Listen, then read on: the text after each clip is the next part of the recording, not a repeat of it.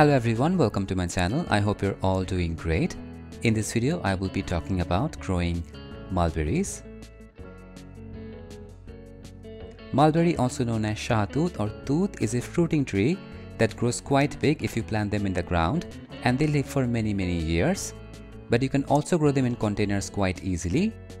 Mulberry is a very important tree as it is a big part of sericulture Commercially, the mulberry trees are used for silk production as the mulberry leaves are the food source of silkworms. I will discuss how you can grow them in your own garden, so stay tuned and don't forget to subscribe and stay connected. Mulberry is a fast growing tree and it has small colorful fruits that have a sweet and sour taste. They have a lot of health benefits. They are filled with antioxidants. The most popular mulberry varieties are the red, white and black mulberries.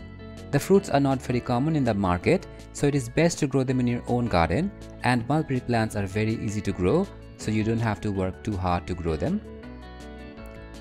The best way you can grow them is by buying a nice plant from a nursery. A grafted plant will be great. You can also grow them from stem cuttings. Growing from seed is not a good idea, it will take too much time and effort. This is how the condition was when I bought my plant. It was just a few inches tall and it was in a very tiny container. After a month, I repotted the plant in a 5 or 6 inch pot and you can see it gained some health, big leaves developed and just after repotting, it started producing fruits.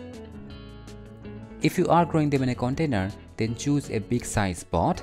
Take at least a 10 to 12 inch container so they can grow well. Few months later, I repotted them again in a 8 inch pot and you can see they have bigger and better fruits. So start with small containers and then move to bigger pots gradually. Because they are bushy tree, they need a big pot to fruit well. Any fruiting tree need lots of energy, so grow them in full sunlight. To get the best results, give them minimum 6 to 8 hours of direct sunlight. You can also grow them in partial shade, but do not grow them in full shade, they will not grow well.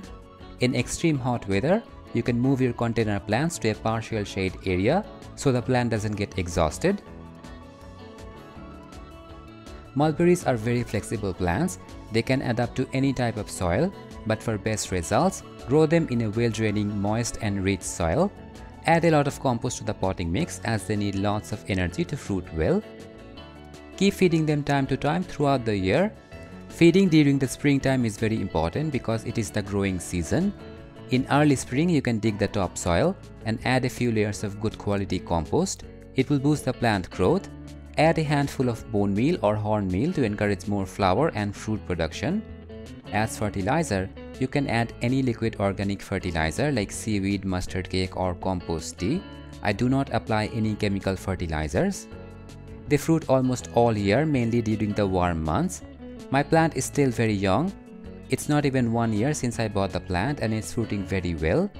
The flowers are very tiny, almost not visible. At the beginning, the fruits are green. As they mature, they become red. At this point, the taste will be very sour. They fully mature when the color becomes black. At this stage, you can harvest them. Fully ripe fruits are quite sweet and tasty. They have a tendency to drop when they're ripe, so harvest them as soon as they become dark.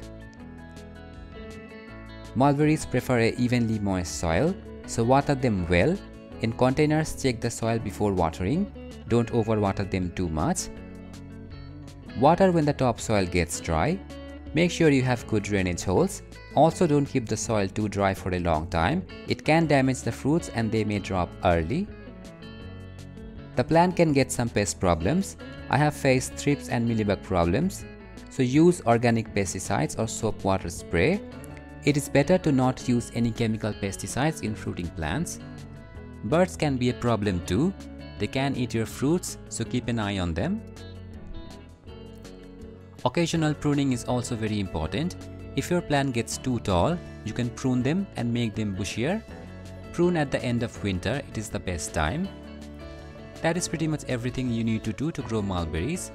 Growing a rarely available fruit in your own garden is a great joy. I hope you will enjoy growing them and if you enjoyed my video, don't forget to like it and subscribe to my channel for more content. I will see you next time. Bye.